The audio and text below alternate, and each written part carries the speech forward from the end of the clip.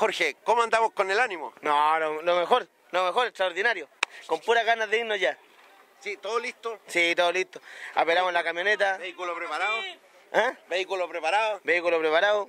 El bombo. Con todas las ganas de ir a ganar allá a Brasil. Nos vamos a traer la copa. Bueno. Sí, nada más, y era puro pasarla bien. Con mi papá, mi hijo, mi amigo Claudio, el calule que anda por ahí dando vueltas. Qué mejor. Las, las dos generaciones, mi papá, el hijo y el, Y el nieto. nieto. Qué mejor. O sea, completo. Sí, con todas las ganas. Ahora, Y, y tienen cara de pasarla mal. no, vamos a ir, Tienen vamos a ir con pena. sufrido. Vamos a ir con pena. Con pena, sufrido. Darle gracias a mi señora que me va a dejarme ir.